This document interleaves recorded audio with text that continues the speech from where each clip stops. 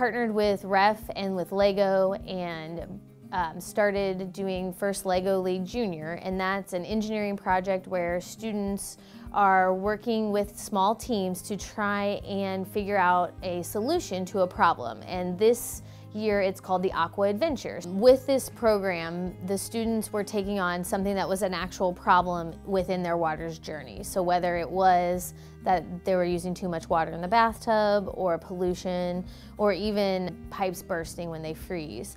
They were researching something that was real problems that existed in their world that they could see around them. In third grade, every student learns about evaporation, precipitation, um, all of those steps, but they don't understand necessarily how humans use water and how our use affects the water cycle as well. How water is cleaned before it comes to us, how after uh, it leaves us, it's cleaned again before it's put back into the river. Uh, that's just something that kids don't think about. When students start becoming more aware of their water use and how they're using it and what it's being used for so that they can identify problems in that human water cycle, that's when we are really starting to break into those critical thinking skills and making them aware of the world around them and not just their personal bubble of life.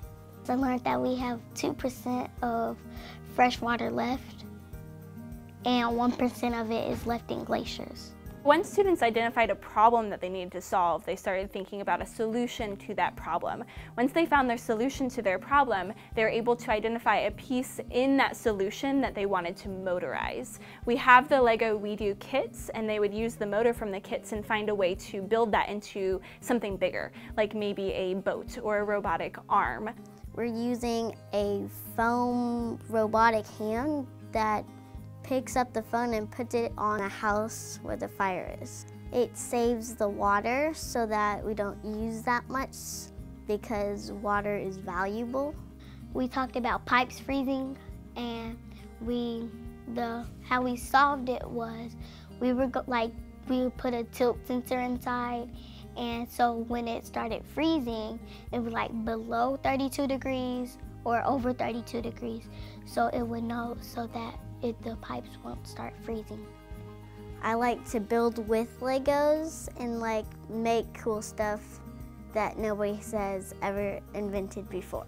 One of the things that we value here in the Gifted program is engineering and the design process and just thinking creatively and coming up with solutions for different problems.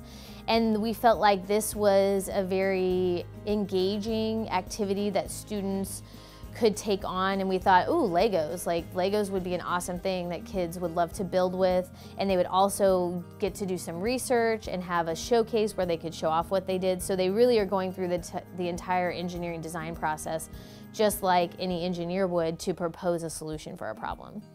My favorite part of the project was learning to build and create with Legos and motorizing the Lego Inspire model with gears and rubber bands.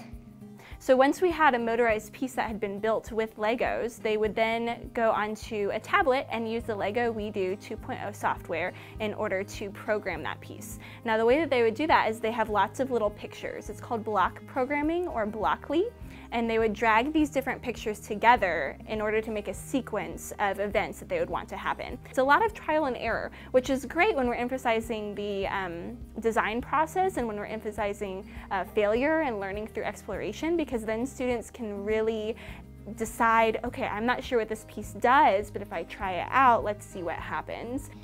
We added a few different codes because we're, we were going to need them to solve our problem. So it, I liked it because programming is fun. My favorite part about the projects are building the models and programming the robots and finding solutions for the problems. Uh, my favorite part of the projects were uh, programming, building, uh, creativity, and teamwork. Well, I learned that we have to be patient we can't all do the same thing at once because it gets too cluttered and people start to get frustrated. I've learned that your teammates can help you by if your idea isn't the best, theirs might be, and they help a lot. It really helps them to understand that working in a team takes more than just their ideas, and it takes a group's idea to make it really come together. Without the grant funds from REF, we wouldn't have been able to complete this project. So thank you so much, REF, for this opportunity.